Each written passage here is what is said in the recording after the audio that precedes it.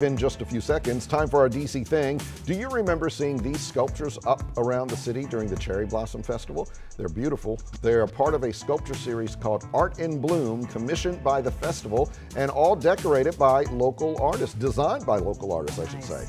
Many of them are still on display, but now five of them are up for auction. Bidding starts at $3,000. The money will go towards the festival's future programming. A portion will also go to the Trust for the National Mall's Cherry Tree Endowment Fund. The online auction ends at 11:59 tomorrow night. All of this information is on our website right now at WUSA9.com. I would love to be able to own one of So those. would I. I mean, I'm totally going to be out. I would never even try, but Yeah. I mean, I would love it. Yeah. It's so DC. They're so gorgeous. It's just such a beautiful time. Like we're coming out of this pandemic Yep. and something to have. You know, it's just, uh, I would love to And do I it. And I love supporting local artists too. So Absolutely. hope it goes well. Yeah.